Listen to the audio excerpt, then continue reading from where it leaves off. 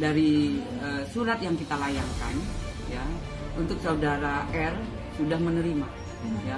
Tapi untuk konfirmasi datang atau tidaknya, nanti kita bisa lihat nanti hari Kamis.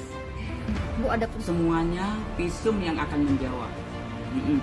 Itu adalah barang bukti yang jelas untuk memperjelas suatu kasus yang dilaporkan. Apalagi Rizky Bilar meminta permohonan damai itu benar nggak sih Bu?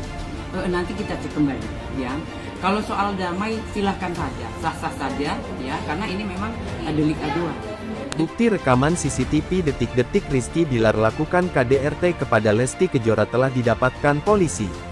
Lewat rekaman CCTV tersebut, kronologi KDRT yang dilakukan Rizky Bilar sudah diketahui polisi.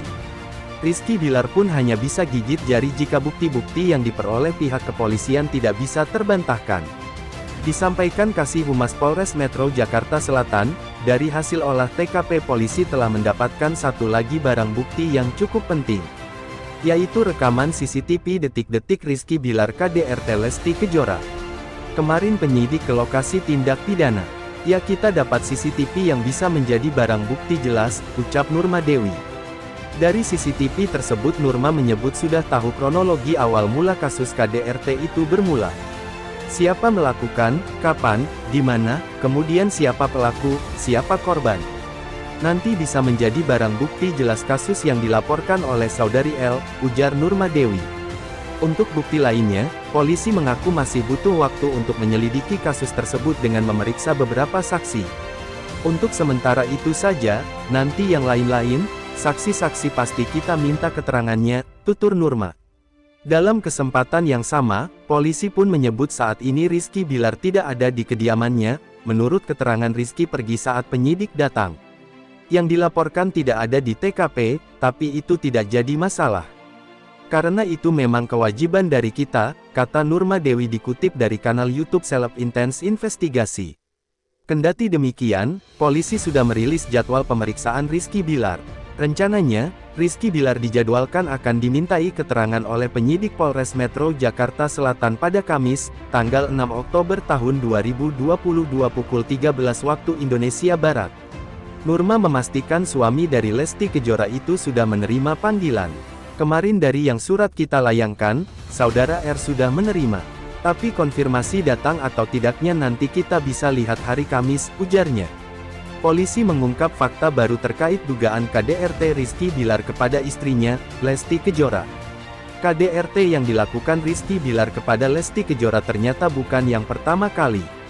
Dalam keterangan awal, Lesti menerangkan bahwa KDRT itu bukan pertama kalinya, tapi sudah sering dan ini puncaknya, kata Kabit Humas Polda Metro Jaya Kombes Endra Zulpan saat dihubungi Detikkom, Rabu, tanggal 5 Oktober tahun 2022. Zulpan tidak menyampaikan rincian dugaan KDRT yang dilakukan Rizky Bilar ini.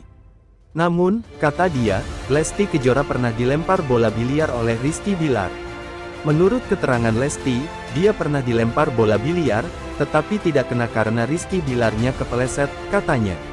Polisi telah melayangkan surat panggilan pemeriksaan kepada Rizky Bilar terkait kasus dugaan KDRT yang dilaporkan istrinya, Lesti Kejora. Rizky Bilar diminta kooperatif. Kita minta kooperatif yang bersangkutan ya, kata Kasih Humas Polres Metro Jakarta Selatan AKP Nurma Dewi saat dihubungi, Rabu, tanggal 5 Oktober tahun 2022. Nurma mengatakan pemeriksaan kepada Rizky Bilar akan dilakukan pada Kamis tanggal 6 Oktober tahun 2022. Surat undangan dari kepolisian pun sudah diterima oleh Rizky Bilar. Masih sama, jadi besok jam 13 waktu Indonesia Barat. Sudah diterima juga sudah suratnya, undangan pemeriksaan, katanya. Nurma menyebut belum mendapatkan informasi perihal kepastian Rizky Bilar untuk datang dalam pemeriksaan besok. Polisi meminta Rizky Bilar hadir agar membuat terang duduk perkara tersebut.